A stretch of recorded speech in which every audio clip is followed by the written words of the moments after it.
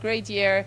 Um, I really enjoyed that, and anything that will come today is a bonus. And I think that that approach really made a made a big difference because if I put too much pressure on myself, uh, it's not going to work. So uh, yeah, this this played out really well.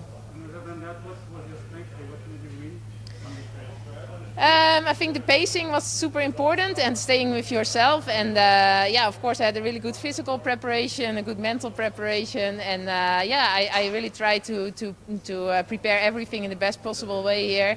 Um, we trained every day on the course here. We ran the house close to the course for this week. Um, yeah, we really uh, did everything uh, the best possible, I think, and uh, yeah, in the end, all details together, I think, make the difference. It's two titles in a row after a little period without uh, titles. What made you come back to this love of the, the city, um, yeah, well, I had some injuries in the past. I had a lot of um, uh, back problems and other stuff. I have that quite good under control now. Um, also, this week I had some problems again, but today it was good. And uh, um, yeah, I don't know. It's I think it's more the mental approach that I, I grow a lot uh, mentally, and uh, yeah, I have a great coach with which we uh, prepare everything physically very well. I gained back some power, and uh, yeah, uh, I don't know. Uh, maybe the age is the older the better. Yeah.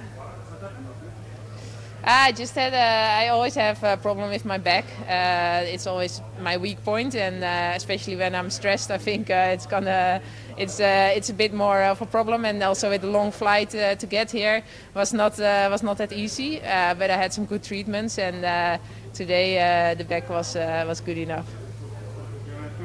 Thank you.